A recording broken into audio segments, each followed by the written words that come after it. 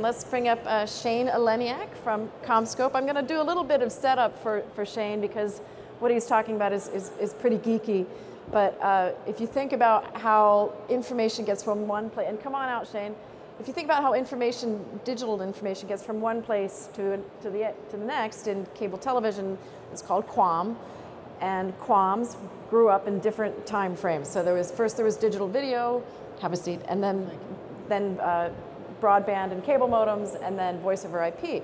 And in each one of those categories, a different vendor community you know, swirled around it and populated it with QAM devices. So for, there's a whole vendor community around video QAMs, there's a whole vendor community around broadband QAMs, and to some extent, a whole video community around voice QAMs. And so now we're to this point where if you talk to people in operations, they're like, every time I turn around, I'm spending more money on QAMs. Why can't we have a one size fits all QAM? Which brings us to you, Shane. That's, that was the Perfect. setup I promised you for this difficult, sometimes difficult conversation of what the heck are you talking about? Exactly. So what ahead. is he talking about? Yeah.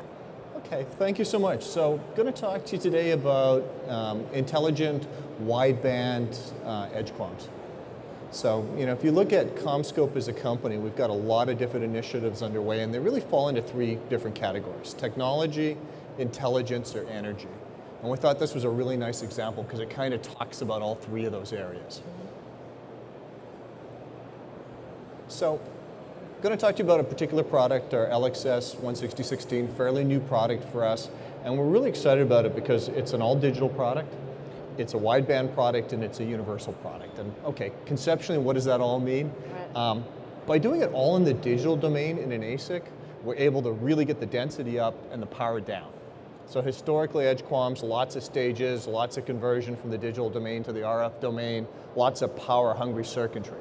And, and, honestly, when we look and we talk to our customers and we look at their head ends, edge QAMs are a key part of that power draw and a key part of that curve that Daniel was talking about going, as we keep adding all these QAMs, we are in real danger of running out of power in space and, and cooling.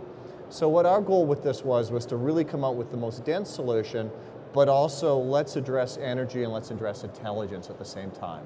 Um, and what this allows us to do is really work with the entire band, the entire RF spectrum, the entire HFC spectrum, turn on QAMs as they're needed through software, but also by doing an all digital design, let's make the incremental power draw of adding those QAMs very, very efficient. And that's what I'm going to really talk a little bit more about.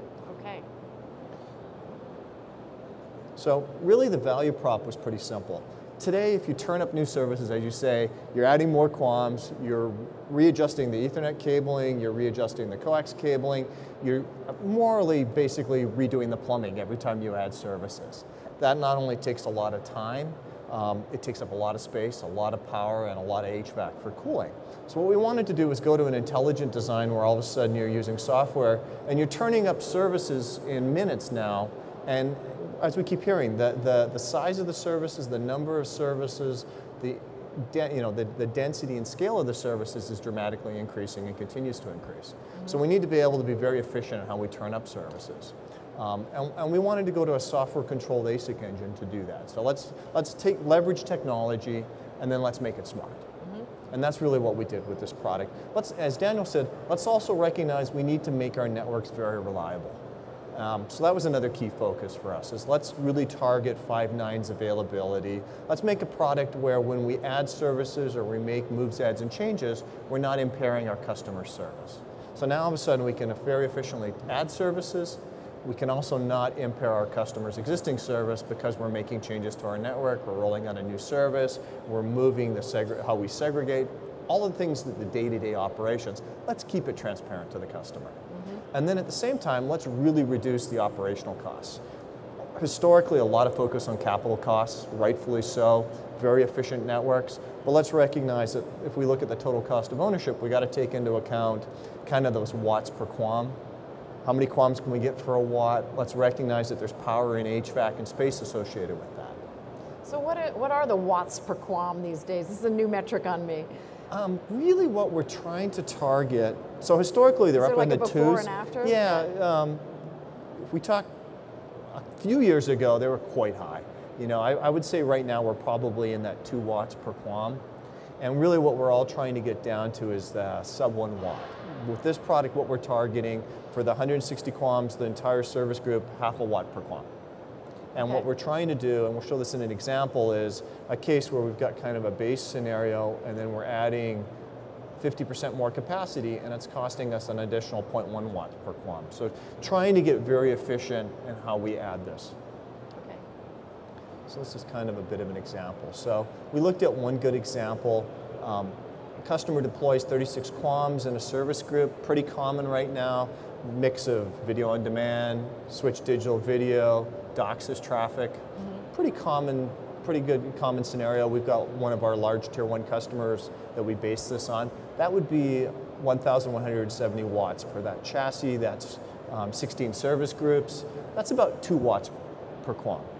If Okay. we added basically another 36 QAMs, doubled the capacity, so really increased the amount of video on demand, DOCSIS rolled out a new IPTV service. A lot of our customers are doing that right now.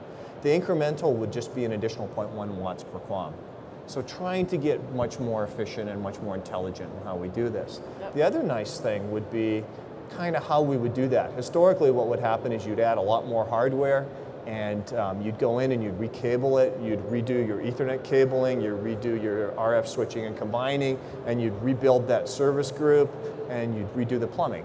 What this example is, and I apologize, it's a spectrum analyzer, but it's kind of an easy way to show it. That would be the 24, qu- that would be 24 QAMs and one gigahertz spread out across that entire spectrum what we want to be able to do is now go to a software GUI and say, okay, I've got 24 QAMs, I want to add in another 12 QAMs.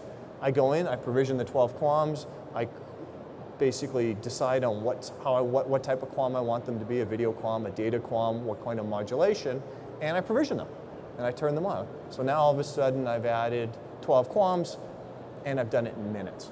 I haven't had to touch any of the, ca- no one's had to go to that actual hub site touch the cabling, touch the hardware, make any changes, they've gone in and they've just provisioned those additional services. And kind of a last picture kind of gives you a sense on density and scale. So essentially what we've got there is a seven foot rack and we've got eight of those products racked out. So that's 128 service groups, each one being 160 QAMs. So that's about 20,000 QAMs and that would take half a watt per QAM. Wow. Yeah. Love to talk to people more about it. Um, we've got a booth very close by here, booth number uh, 2059. right We're just down over there. Look for the rotating sign. We've got the product uh, racked up and working. We'd love to answer any of your questions. Gonna- So the, you're ready now with the, the QAM product, the Dense QAM is, Yeah, we're selling It's it. not in development, it's- no, it's no, it's in go. it's in our customers' networks. all right. So next year, this time, what will be the watts per QAM? Or what, what is the time frame of it? What, how does this Really, what a lot of the good work that's going into the semi group right now is can we use intelligence to start turning parts of the product off as you're not using it? Right. And can we start to get some message sets and some intelligence communication so that we can understand what part, what, what are they using? When are those services being used? When aren't they being used? And can we start shutting things off when they're in a dormant state? Which was easier to do before the internet, right? Because now it used to be that I don't remember Usage the patterns used to be really predictable. right. Um, the two things that have kind of changed is usage is very unpredictable, so you really need real-time messaging now. You can't A lot more in the middle of the night. a lot more in the middle of the night, Yeah. a lot more differences, um, and it changes really on a particular service group by service group basis. So you really need that real-time metrics and real-time messaging. But I think there's a lot of good work, there's a lot of good discussion saying it's a well-defined product problem. We should be able to solve this problem. And there's a lot of good focus, I think, both within the customer community around how would we do that, what makes sense for their end customers, and also within the vendor community on how do we do this. Because we recognize this is a problem that is going to continue to get worse. So let's design intelligent equipment. Let's then give it the capabilities to be very, very power efficient. Okay. One last question that was off script. Sure. So CommScope is known forever in this industry as we're the cable and cable TV. How did you get from we're the cable and cable TV to intelligent universal edge really a recognition that our customers look to us for solutions.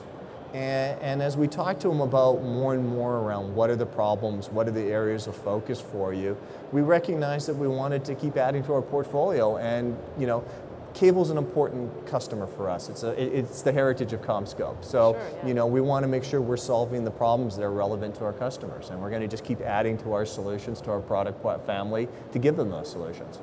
Sounds great. Well, thank you for spreading the word on, what are we calling it? I call it Universal Edge QAM, wideband QAM. Universal uh, wideband edge QAM. All right. Thank you so much. Thank you. You take care. All right.